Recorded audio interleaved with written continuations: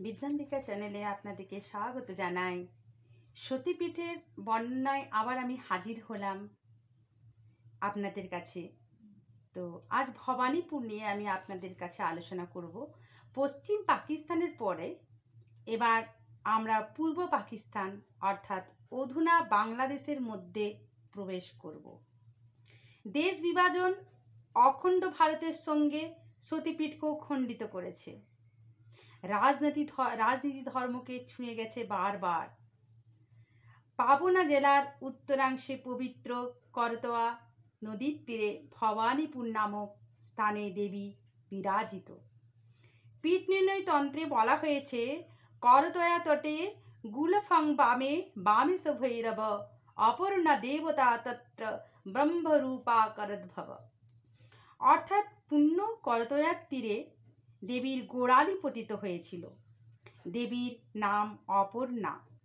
দেবতা ভৈরব হলেন বামেশ।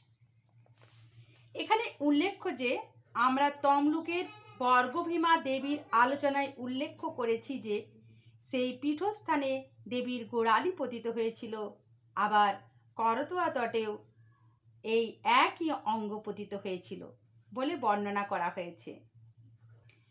হতে পারে যে দুই পিঠে দেবীর দুটি ভিন্ন পায়ের গোড়ালি ছিন্ন হয়েছিল। কিন্তু করতয়া তোটে অবস্থিত দেবী অপর্ণার পীঠ সম্বন্ধে ভিন্ন একটি মতে বলা হয়। দেবীর কর্ণ এখানে পতিত হয়েছিল। দেবীর নাম বারাহি, ভৈরব হলেন বামন।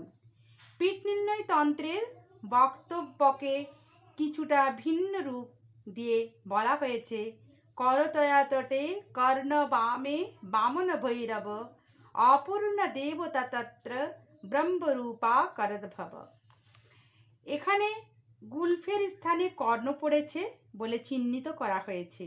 ভৈরবের নাম বামন। এই পীঠস্থানের আলোচনায় প্রথমে পুণ্যতয়া, করতয়া নদীর কথা উল্লেখ করতে হবে। করতয়া নদী অতি পবিত্র নদী। পুরাণে বলা হয়েছে দেবাদিদেবের, মহাদেবের হাত থেকে কিছু পবিত্র জল পৃথিবীতে পড়লে তা নদী রূপে আত্মপ্রকাশ করে। মহাদেবের কর থেকে নদীর উৎপত্তি হয়েছে বলে স্বয়ং প্রজাপতি ব্রহ্মা এই নদীর নাম রাখেন করতোয়া। গঙ্গা যমুনার মতোই করতোয়া নদী পবিত্র নদী। স্কন্দ পুরাণে এই নদীর মাহাত্ম বর্ণনা করে বলা হয়েছে হে করাতয়ান করতয়ানদ তুমি শরীর চেষ্টা বলে বিশ্রুতা তোমার তুল্য রূপবতী নদী আর নেই, যেহেতু তুমি তরুণ হয়েও রজবিহীনা, অতএব তুমি ধন্যা ও পুণ্যা। এই পবিত্র করতয়ার তীরে দেবীর পীঠস্থান গড়ে উঠেছে। বর্তমানে দেবীপীঠ ভবানীপুর নামক স্থানে থাকলেও মূল পীঠস্থান অন্যত্র ছিল। পাবনা জেলার উত্তরে এবং বগুড়া জেলার দক্ষিণে প্রায় একশো বর্গমাইল এলাকা জুড়ে ছিল জঙ্গল। এই জঙ্গলের প্রাচীন নাম ছিল গুলফাপুরী এই স্থানেই ছিল দেবী পীঠ। কিন্তু এক বিরাট রাজনৈতিক উত্থান পতনের জন্য এক সাধক এই পীঠের দেবী অঙ্গকে জঙ্গলের মধ্যে লুকিয়ে রেখে দেন। প্রায় দেড়শো বছর পর মোহন মিশ্র নামে অপর এক সাধক দেবীপীঠের আবিষ্কার করেন এবং ভবানীপুরে দেবী মন্দির গড়ে তোলেন। এক সময় করতোয়া নদীর তীরে কমলাপুর নামে এক রাজ্য ছিল।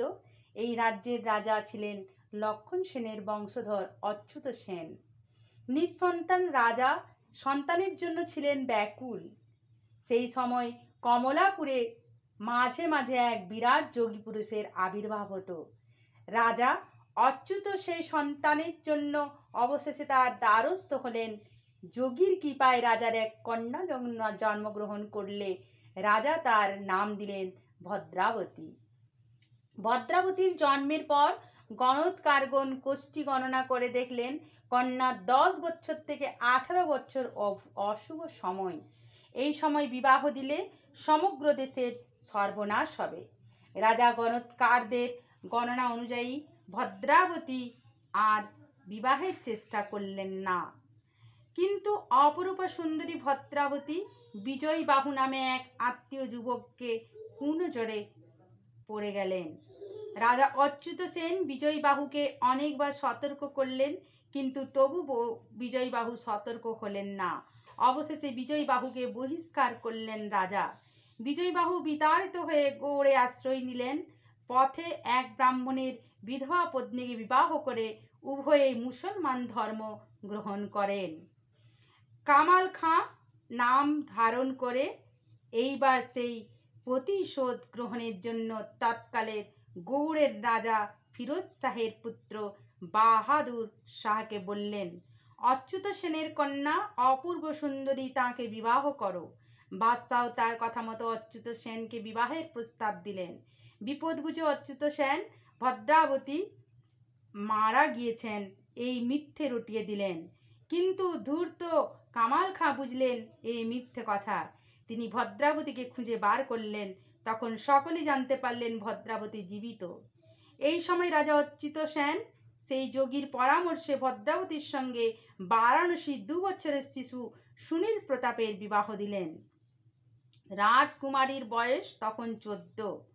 আঠারো বছর পর্যন্ত ভদ্রাবতীর সংযমের পরীক্ষা ছিল। তাই যোগী পুরুষ এই অভিনব বিবাহের ব্যবস্থা করলেন। বারাণসী থেকে সুনীল প্রতাপের সঙ্গে এক ব্রাহ্মণ কুমারকে অচ্যুত সেন এনেছিলেন। তার নাম মোহন মিশ্র।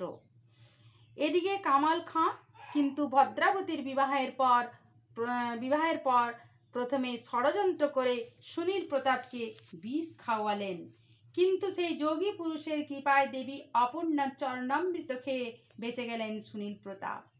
এরপর কামাল খাঁ তার দুষ্টা স্ত্রীকে পরিচারিকা সাজিয়ে সুনীল প্রতাপের কাছে পাঠালেন। নানা রকম প্রলোভন দেখিয়ে সুনীল প্রতাপকে সংযমহীন করে তুললেন। ভদ্রাবতীর ব্রতের তখনও দু বছর বাকি। সুনীল প্রতাপের প্ররোচনায় ভদ্রাবতীও সংযমহীন হলেন। ব্রতের কথা ভুলে যেতেই রাজ্যে বিশৃঙ্খলা শুরু হলো। কামাল খাঁ তখন ফিরোজ শাহকে কমলাপুর আক্রমণের পরামর্শ দিলেন। তারপর শুরু হলো মহাযুদ্ধ। ফিরোজ শাহের আক্রমণে ধ্বংস ধ্বংস, ধ্বংসস্তূপে পরিণত হলো কমলাপুর। এই সময় সেই যোগী পুরুষ সুনীল প্রতাপের সঙ্গে আশা মোহন মোহন মিশ্রকে সঙ্গে করে দেবী অপর্ণার শিলাভূত অঙ্গ গুলফাপুরী থেকে নিয়ে এক দুর্গম বনভূমিতে পুঁতে রাখলেন। কমলাপুর ধ্বংস হয়েছিল চতুর্দশ শতাব্দীর প্রথম ভাগে। এর প্রায় দেড়শো বছর পরে হঠাৎ মোহন মিশ্রের আগমন হলো ভবানীপুরে। তিনি নিজের পরিচয় দিয়ে দুই ব্রাহ্মণ মনোহর চক্রবর্তী এবং মথুরেশ চক্রবর্তীকে সতী অঙ্গ প্রকাশ করবার জন্য তপস্যা করতে বললেন। দুই ব্রাহ্মণ পীঠস্থান উদ্ধারের জন্য প্রাণপণে তপস্যা করতে লাগলেন। একদিন মনোহর চক্রবর্তীর জীবনে অদ্ভুত এক ঘটনা ঘটল। এক শাঁখারি করতয়া নদের উত্তর দিক দিয়ে আসছিলেন। হঠাৎ দেখলেন, পথে একটি মেয়ে ধুলো নিয়ে খেলা করছে। মেয়েটি তাকে দেখে নিজেকে ব্রাহ্মণের মেয়ে বলে পরিচয় দিয়ে শাঁখা পড়তে চাইল। শাঁখা পরিয়ে দেওয়ার পর শাঁখারি দাম চাইলে মেয়ে বলল, ওই গাছতলায় আমার বুড়ো বসে তপস্যা করছেন। তুমি তার কাছে যাও, আর তার জপের থলিতে পয়সা রয়েছে, তিনি তোমায় পয়সা দেবেন। মেয়েটির কথা মতো শাঁখারি মনোহর চক্রবর্তীর কাছে গিয়ে শাঁখার দাম চাইলেন। শাঁখারির কথা শুনে তপস্যারত মনোহর চক্রবর্তী অবাক হলেন। জপের মাথার থলি থেকে সত্যি সত্যি পয়সা বেরোলো। তিনি শাঁখারিকে বললেন, কোথায় আমার মেয়ে? শাঁখা পড়েছে, আমাকে দেখাবে, চলো। মেয়ের হাত দেখে তোমায় পয়সা দেব।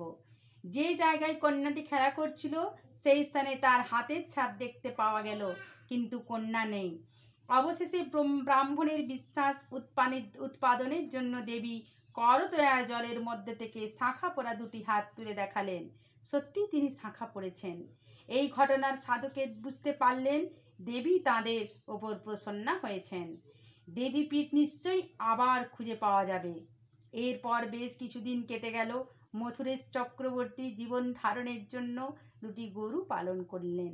একদিন মথুরেশ চক্রবর্তীর সন্দেহ হলো যে গরু দুটি ঠিক ঠিক দুধ দেয় না। দুধের পরিমাণ ক্রমশই কম কম হচ্ছে। কৌতূহল বসে একদিন তিনি লুকিয়ে লুকিয়ে দেখতে লাগলেন, একটি গরু প্রথমে এক জায়গায় দাঁড়িয়ে নিজের থেকেই দুধ দিতে লাগল। আবার কিছু দূর গিয়ে আরেক স্থানের ওপরও একই রকমভাবে দুগ্ধ ধারা বয়ে দিল। এই ঘটনা মথুরেশ ও মনোহর চক্রবর্তীকে বিস্মিত করল। তারা মোহন মিশ্রের পরামর্শ অনুসারে গরুটি যে যে স্থানে দুগ্ধক্ষরণ করছিল, সেই দুটি স্থানকে খুঁড়তে লাগলেন।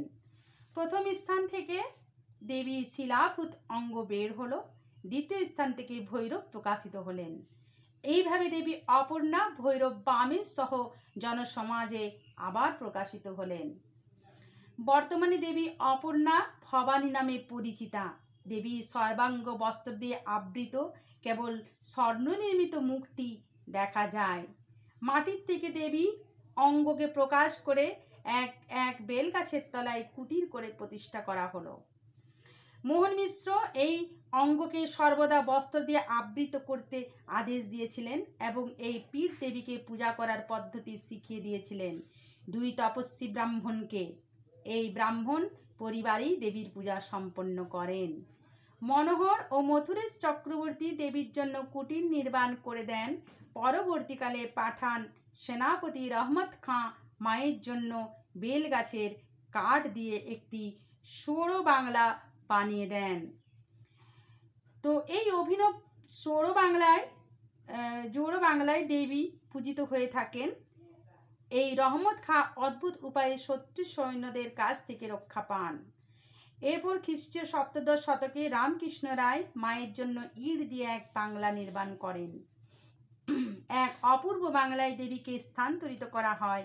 কিন্তু কিছুদিন পর দেবী স্বপ্নে রাজা রামকৃষ্ণকে বলেন নকশার বাংলাতে লোকে নকশা দেখে আমাকে দেখে না। আমাকে আগের মন্দিরে রেখে আয়।